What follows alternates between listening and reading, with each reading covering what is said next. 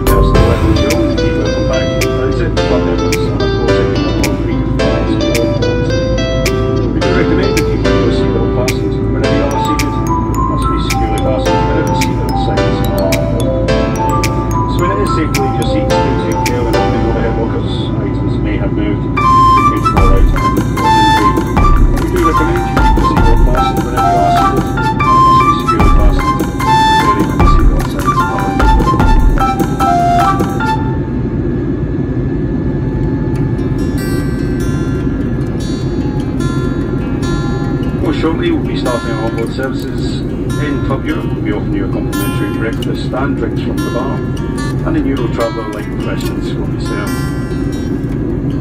If you require any further drinks during the flights, then please just ask one of us.